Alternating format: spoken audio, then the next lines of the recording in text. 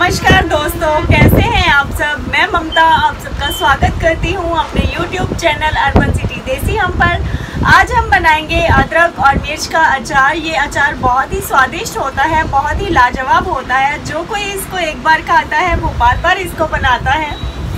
लेकिन वीडियो शुरू करने से पहले मैं आप सबसे रिक्वेस्ट करना चाहूँगी कि अगर आप लोगों ने मेरे चैनल को सब्सक्राइब नहीं किया है तो प्लीज़ मेरे चैनल अर्बन सिटी देसी हमको सब्सक्राइब कर लीजिए।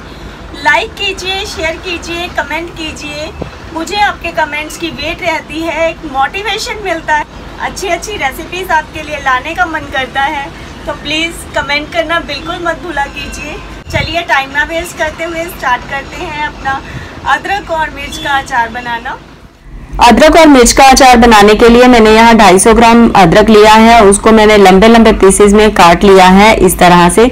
इसी तरह मैंने 250 ग्राम मिर्च ली है, उसको भी मैं लंबे लंबे पीसेस में काट लूँगी। पहले मैंने इसका डंठल उतारा है और उसके बाद मैंने इसको दो भागों में डिवाइड डिवाइड किया है इस तरह से। डिवाइड करने के बाद मिर्च का साइज़ थोड़ा बड़ा रहता है, लेकिन अगर आपको ये साइज़ पसंद है तो आप ऐसे रखिए अदरवाइज़ मैं इसको चार भागों में डिवाइड कर रही हूँ, क्योंकि मुझे पतली पतली मिर्च पसंद है। अगर आपकी मिर्च ज़्यादा लंबी है तो आप उसको सेंटर में से भी कट कट कर सकते हैं। इसी तरह मैं अपनी सारी मिर्चों को कट कर लूँगी। मैंने अपनी सारी मिर्चें कट कर ली हैं। अब एक मैं बड़ा बाउल लूँगी। बड़े बाउल में मैं इनको सबको पलट दूँगी। मैंने अपना अदरक और मिर्च दोनों इसमें पलट दिए हैं।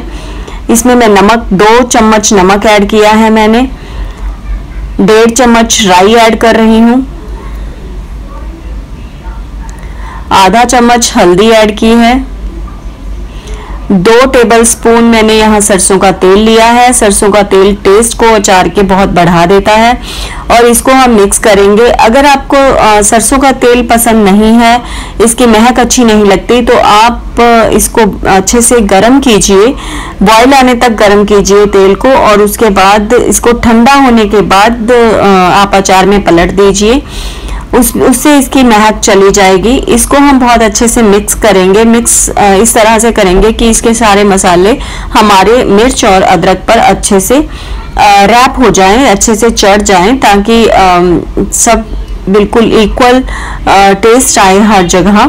तो इसके बाद हम यहाँ दो दो बड़े चम्मच हमने सिरका लिया है। यहाँ पे सिरका हम इसलिए लेते हैं क्योंकि ये हमारे अचार की लाइफ को बढ़ा देता है। बहुत टेस्ट इसका टेस्ट भी बहुत अच्छा होता है। मैंने यहाँ दो लेमन भी निचोड़ कर रस निकाल लिया है। अब मैं इसमें दो लेमन का रस जो मैंने निचोड़ कर रखे हुए थे वो डाल लूँगी। यूँ तो इसके लिए आ, सिर्फ़ लेमन का रस ही काफ़ी रहता है लेकिन सिरका अचार की लाइफ को बढ़ाने के लिए और इसके टेस्ट को इंक्रीज करने के लिए बहुत ही अच्छा है बहुत ही बढ़िया है।